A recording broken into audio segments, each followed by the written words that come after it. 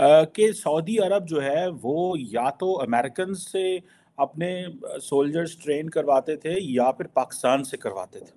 और भी था उनका, लेकिन ये एक नई चीज़ सामने आई है कि तकरीबन सुनने में आया कि 67 या 55 जो रॉयल सऊदी नेवल फोर्स के जो कैडेट्स हैं, उनको इंडियन नेवी जो है वो ट्रेन कर रही है।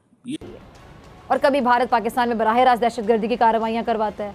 कभी फिफ्थ जनरेशन वॉर के ज़रिए दुनिया में पाकिस्तान की साख को मुतासर करने की कोशिश करता है। यानी सोते, जागते, उठते, बैठते, खाते, पीते, हर जगह पे इनके हवासों पर पाकिस्तान सवार है कि किस तरह पाकिस्तान के खिलाफ साजिशें की जाए, पाकिस्तान का इमेज खराब किया जाए, पाकिस्तान को नुकसान पहुँचाया जाए। कितना डरते हैं पाकिस्तान से? कितना घबराते हैं पाकिस्तान से कि इनके हवासों पर हर वक्त पाकिस्तान सवार है? सऊदी अरब जो है अपनी आर्मी को इंडिया से ट्रेन करवा रहा है लेकिन वही सऊदी अरब जो कभी हमारी आर्मी की सर्विस लेता था आज देखिए कितना बड़ा गैप आ चुका है और आज भी हम वही उनकी बात सही है कि नाले और गटर की सियासत से हम बाहर ही नहीं निकले। अगर हम नक्शा दिखा दें ये बात इंपॉर्टेंट है। मुझे एक मिनट देखिए इसको ये दिखाएँ ये सबसे ज़्यादा मेरे ख्याल से इंपॉर्टेंट बात। इसको अरब मेडिटेरियन कॉरिडोर भी हम कह सकते हैं। ठीक है। अच्छा इसके ऊपर माहिदा तय पाया है।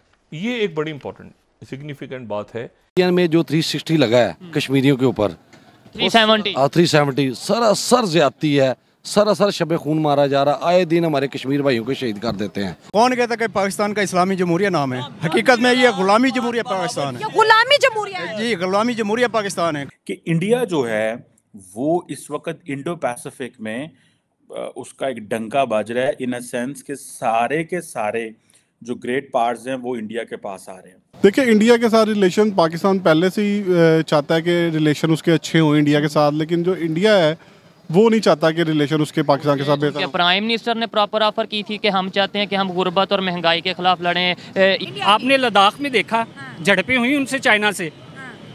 ना तो चाइना ने ट्रेड ख़त्म किया ना इंडिया ने। हमने यहाँ बॉर्डर बंद कर दिए।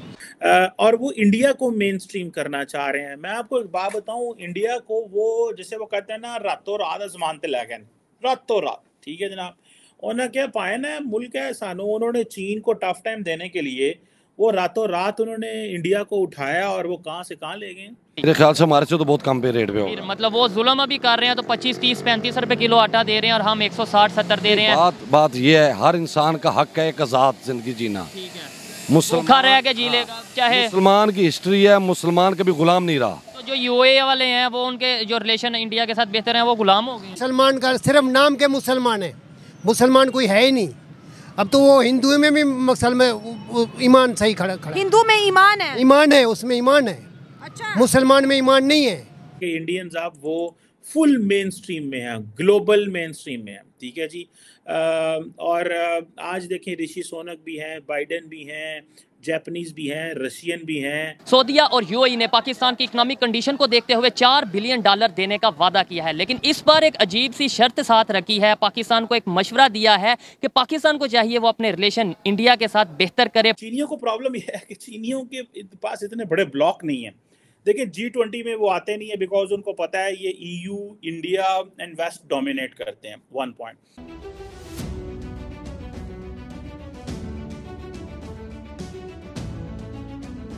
जय हिंद, नमस्कार दोस्तों।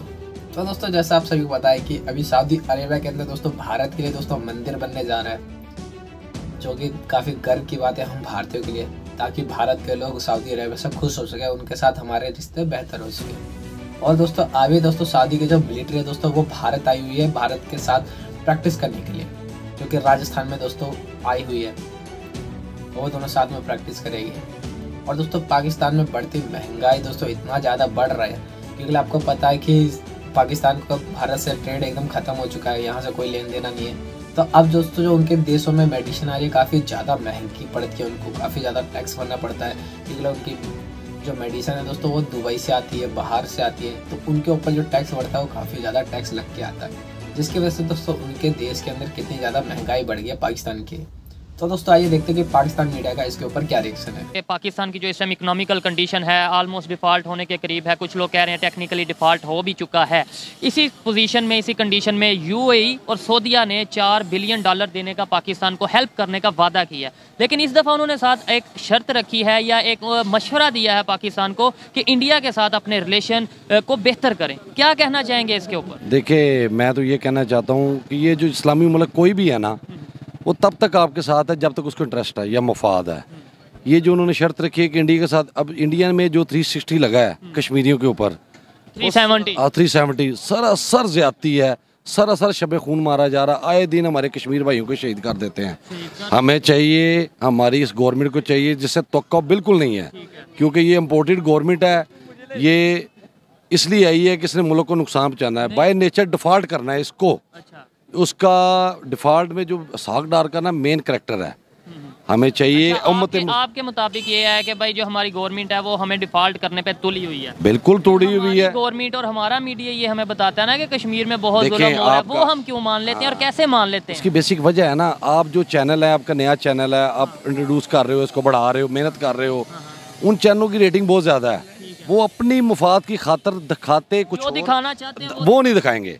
वो कभी भी नहीं दिखाएँगे सच नहीं दिखाएँगे। सच कभी भी तो नहीं दिखाएँगे कह रहा हूँ ना सच आप खुद कह रहे हैं कि मीडिया वाले सच नहीं दिखाते तो इसका मतलब जो 24 घंटे में दिखाया जाता है कश्मीर में जुलम कश्मीर में जुलम में भी अगर हम सोचें तो वहाँ पे ऐसा ना हो रहा हो। हाँ, तो वो बरक्स कर रहे हैं ना इसका वो यूई की डिमांड क्या है वो यू की यही डिमांड है ना कि इंडिया को मानो इंडिया से बैठो रिलेशन कायम करो। इसमें गलत क्या है? आपके ख्याल में? मतलब कोई गलत, गलत क्या है? मैं कहता हूँ कि जितना हमारे कश्मीर भाई के साथ जुल्म हो रहा है ये गलत नहीं बहुत सरासर गलत है। में जो आप जिस कश्मीर की बात कर रहे हैं उधर आटा किस तरह है? क्या किलो मिल है? मेरे ख्याल से हमारे से तो बहुत कम पे रेट पे हो मतलब वो जुल्म अभी कर रहे हैं तो पच्चीस तीस पैंतीस रुपए किलो आटा दे रहे हैं और हम एक सौ साठ सत्तर दे रहे हैं। बात बात ये है हर इंसान का हक है एक आज़ाद ज़िंदगी जीना। मुसलमान रह के जी लेगा चाहे मुसलमान की हिस्ट्री है मुसलमान कभी गुलाम नहीं रहा। जो यूए वाले हैं वो उनके जो रिलेशन इंडिया के साथ बेहतर हैं वो गुलाम हो गए हैं। बिल्कुल वो उनका मुफाद है भाई। हमारा इस्लामी नज़रिया है। अब यूए ने तो इसराइल को भी तस्लीम किया हुआ है। हम नहीं कर सकते। तो, वो देखें एक वैसे लॉजिकल बात कर रहा हूँ आप इसे एग्री डिसएग्री कर सकते हैं। यूएई ने इसराइल को तस्लीम किया यूएई अब दुनिया के दूसरे तमाम कंट्री के साथ मिलकर चल रहा है सऊदिया मिलकर चल रहा है। तो वो बेहतरी की तरफ़ जा रहे हैं या डिफ़ॉल्ट होने की तरफ़ जा रहे हैं? बेसिक वो ये बता नहीं वो बेहतरी की तरफ़ जा रहे हैं वो बेहतरी की तरफ़ इसलिए जा रहे हैं। बेसिक बात बोला क्या है? हमें हम जाते क्यों वहाँ से मांगने के लिए? अच्छा, हमारा कोई पेशा बकारी है। हमें खुद मुख्तार मुल्क है इस्लामी जमहूरिया पाकिस्तान हमारे बड़ों की बड़ी कुर्बानी है इस मुल्क के लिए। अगर वह जाते हैं तो उनका अपना ट्रस्ट है। हमें चाहिए खुददार कौम बने हमारे हुक्मरानों को चाहिए कुछ शर्म कर लें कुछ शर्म कर लें। हमें गुलामी नहीं चाहिए। चाहिए। मुझे ये बताएँ अगर यूएई की बात करें सऊदिया की बात करें क्या वजह है कि वो कोई भी कंट्री है इस्लामिक कंट्री है या नॉन इस्लामिक कंट्री है सबके साथ वो अपने रिलेशन ऑलमोस्ट बेहतर बना रहे हैं। वो भी इस्लामिक कंट्री है हम भी इस्लामिक कंट्रियाँ हैं लेकिन हमारे दिमाग में क्यों बैठा है कि हमने ये नहीं करना उससे नहीं रिलेशन अच्छा रखना? क्या कहना चाहेंगे उसकी वजह बहुत ये है कि वो वहाँ पे जो इस्लाम जो है ना आज़ाद ख्याल का है। अच्छा। हमारे यहाँ पे इतना आज़ाद ख्याल लिबरल नहीं है लोग यहाँ पे। सऊदिया में लोग लिबरल इस्लाम लिबरल की तरफ़ जा रहे हैं ना लिबरल की तरफ़ जा रहे हैं। अब ये देखो श्रीलंका की एग्ज़ाम्पल ले लें आप। श्रीलंका डिफ़ॉल्ट कर गया पहले भी उसका ऐसी नीचे बनी थी पेट्रोल कम हुआ। अब देखिए हमारे पास टोटल सोलह दिन के जखायर रह गए हैं। अब लोगों आम आवाम को पता जब चलेगा ना कि पेट्रोल की किल्लत पड़ने लग पड़ी है वो ज़्यादा लेना शुरू हो गए डिपू लेना शुरू करेंगे। महँगाई बढ़ती महँगाई बढ़ती जाएगी और हम on what line Indians are thinking in the Indian ocean and Pacific ocean ये पता आपको सारा कनेक्ट करता है। India is not far away from Middle East ये मतलब इंडिया पाकिस्तान तो समझे, हम तो मिडल ईस्ट के एक डिस्टेंट नेबर हैं। हम वो ठीक है खत्े की पावर्स नहीं हैं या खत्े के ममालिक नहीं हैं, भारत और पाकिस्तान, लेकिन दोनों खत्े के ममालिक ही हैं डिस्टेंट नेबर साथ ही तो हैं, कोई ज़्यादा फ़र्क तो नहीं है। अब इसमें अगर आप देखें ये सारी सिचुएशन तो इसमें आपको पता चलेगा कि सऊदीज़ अंडरस्टैंड करना चाहते हैं कि इंडिया किन लाइंस पे सोच रहा है।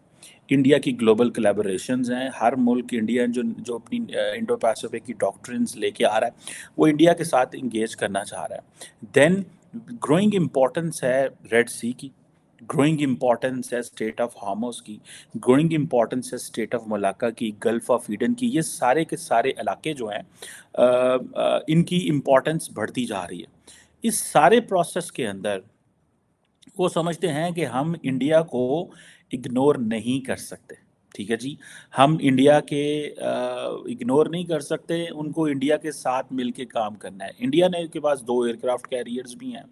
सऊदीज़ को इन चीज़ों का बड़े अच्छे से पता है कि ये आ, क्या आ, और किस सेंस में चीज़ें जो हैं वो आइंदा आने वाले दिनों में हो सकती हैं और क्या करना चाहिए इसको सॉरी सऊदीज़ को क्या करना चाहिए। फॉर एग्जांपल आपको याद होगा रिसेंटली ओमान की लीडरशिप आई थी strategic dialogue and all this they wanted Indians wanted to have an access कि जी हमें जो पोर्ट है ओमान के अंदर उस पोर्ट की एक्सेस दी जाए। वो क्यों भाई एक्सेस दी जाए? दे नो कि क्या में था। जो भी उन्होंने किया वो गलत किया। जो उधर गलत खाने चलते थे ठीक है उन्होंने इधर सऊदी अरब में बना दिए कि जो सऊदी अरब खुद को मॉडर्नाइज कर रहे हैं ना कब तक तेल बेचेगा? अब वो टूरिज़्म को सपोर्ट कर रहा है क्लब बनवा रहा है अल्कोहलिक वहाँ पे जी हाँ, हाँ। यही पैदा कर रहा है। बहुत बेहजाई पैदा कर रहा है। आप इस्लामिक हो? मैं इस्लामिक को आप इस्लामिक कंट्री में रहते यहाँ क्या हो रहा है? जरा बताएँ इधर आए जरा आगे। ये तो इस्लामिक है ना? पाकिस्तान को कितने साल हो गए? पचहत्तर साल हो गए सतहत्तर हो गए सर। सतहत्तर साल हो गए। हाँ। पूरी कौम से पूछे वो आज तक नाली और गटर के सियासत से बाहर ही नहीं आए। तो मुल्क कैसे तरक्की करेगा? ना हमारी आवाम बाहर आई ना हमारे सियासतदान आए। तो मुल्क कैसे तरक्की करेगा? बार बार उनको आजमाते रहे आजमाते रहे। परवेज मुशरफ था ना उसने एक ऐलान किया था कि आप एक चीज़ को आजमाओ ना वो आपको ख़राब कर रही है तो आप दूसरी बार आजमाओ दूसरी बार ख़राब कर रही है तीसरी बार आजमाओ और वो तीसरी बात भी बाज नहीं आती ना तो समझो वो ठीक है आप गलत हैं। सही बात है थोड़ा पीछे हो जाए मेरा फ्रेम से मैं फ्रेम से बाहर जा रही हूँ। मुस्लिम उम्मा ने जूता दिखा दिया हमें अपनी आर्मी इंडिया से ट्रेन करा रहे हैं। जी गलत बात है। ये तो मेरी सही बात क्या ये बताओ ना। सही बात ये जो जो कुछ भी कर रहे गलत कर रहे ना ये इनसे जो भी है मिले हुए सभी। जो हमारी सभी इधर जो सहूलियात पूरी इधर है को किस किस चीज़ की कमी ये मुझे बताएँ। कमी है ना इंडिया सऊदी अरब के साथ ट्रेड करता है हम मांगने जाते हैं। तेल भी हमारा इधर निकल रहा है। उधर का क्या मकसद है? क्यों नहीं निकालते? बस ये इनकी क्या है? बस उनको दबा देते जो भी ऊपर आता है। आप तो इधर उधर की बातें करें इंटरनेशनल क्रेडिबिलिटी हमारे ऊपर बहुत ज़्यादा थ्रेट आ चुके हैं। क्रेडिबिलिटी कोई नहीं रह गई। मैडम पता क्या? ये बार बार आजमाने से बार बार आजमाने से कुछ नहीं होगा। पूरे मुल्क को पूरी कौम को इकट्ठा होने पड़ेगा। अब चले वो कहता है सवाल है देखिए पाकिस्तान इस्लामी जमहूरिया मुल्क है मानते हो ठीक है? इस्लामी मुल्क हमसे दूर जा रहे हैं ठीक है? पड़ोसी मुल्क में आके बैठ रहे हैं। पड़ोसियों की ऐसी कौन सी पॉलिटिक्स है जो हमसे बेहतर है? इस पे कोई बात क्यों नहीं करता? किस लिए नहीं क्यों बैठ क्यों बात करे? इमरान खान ने सभी कुछ राइट किया है। जो उसने उस उधर जदीद मुल्क में जाकर उसको उधर बैठ कर नवाज़ शरीफ उधर उठ कर उसको सलाम करता है। चलो पता नहीं क्या बात कर रहे हो। जब कारगिल का वाक्य हुआ था तो वज़ीर आज़म कौन था? नवाज़ शरीफ था। अच्छा जब साने मॉडल टाउन हुआ तो वज़ीर आज़म नवाज़ शरीफ था। जब आर्मी पब्लिक स्कूल पे हमला हुआ तो वज़ीर आज़म नवाज़ शरीफ था। अब साने नौ में ही हुआ तो वज़ीर आज़म कौन था? बताएँ इनमें इमरान खान है? इमरान खान था। तो फिर लीडर और सियासतदान में फ़र्क होना चाहिए मुनाफिक में फ़र्क होना चाहिए। कौम को समझना चाहिए। चले बाकी कौम को समझना चाहिए कि आखिर ऐसी क्या वजूहत है कि सऊदी अरब जो है अपनी आर्मी को इंडिया से ट्रेन करवा रहा है। लेकिन वही सऊदी अरब जो कभी हमारी आर्मी की सर्विस लेता था आज देखिए कितना बड़ा गैप आ चुका है और आज भी हम वही उनकी बात सही है कि नाले और गटर की सियासत से हम बाहर ही नहीं निकले। और दोस्तों उनके यहाँ ग्रोथ रेट कुछ है नहीं। खाली सिर्फ़ महँगाई का रेट बढ़ते जा रहा है। और दोस्तों, वहीं काफ़ी लोगों से पूछा जाए कि भारत के साथ उनको कैसे रिश्ते करने चाहिए। तो दोस्तों, उन्होंने जो सीखा, वही कहते हैं कि हमें भारत के साथ कभी भी रिश्ते अच्छे नहीं करने चाहिए। वो हमेशा भारत को अपना दुश्मन ही मानती है, जिसकी वजह से उनकी ये हालत हो गई है। मतलब मतलब पाकिस्तान का मानना यह है कि मर जाएँगे पर भारत के साथ कभी दोस्ती नहीं करेंगे। ऐसा उन लोगों का मानना है। हालाँकि हमसे दोस्ती करने में उन लोगों का ही भला है, क्योंकि अगर हमसे दोस्ती होगी तो उनको कितनी सारी दवाइयाँ बहुत ज़्यादा सस्ते रेट पर मिल जाएगी, क्योंकि उनका जो एयर का खर्चा है वो घट जाएगा। बाई रोड है, यहाँ से भारत से ट्रांसफ़र होगा, बगल में उनका बॉर्डर है तो कितना ही ज़्यादा फ़ायदेमंद ये होगा पाकिस्तानियों के लिए। पर ऐसा वो नहीं कर रहे, बल्कि उनके जगह दूसरे इस्लामी कंट्रियाँ Saudi Arabia other country Turkey Afghanistan कितने सारे हमसे बेहतर रिश्ते कर रहे हैं। वो कभी भी हमको काफिर नहीं मानते, जितना पाकिस्तान मानती है। अगर दोस्तों आपको वीडियो अच्छी लगी हो तो प्लीज़ इसको लाइक कर देना कमेंट ज़रूर करना, अपनी राय ज़रूर बताना कि क्या लगता है, क्या होगा। और सब्सक्राइब कर लेना ऐसी न्यूज़ देखने के लिए। और दोस्तों, एक लाइक ज़रूर कर देना, क्योंकि यार वीडियो बहुत मेहनत से बनती है, बहुत ज़्यादा रिसर्च करके लाना पड़ता है, बहुत मेहनत लगती है। तो आपका एक लाइक मेरा कॉन्फिडेंट बुला देगा। बाकी मिलता है अगली वीडियो में। जय हिंद, जय भारत।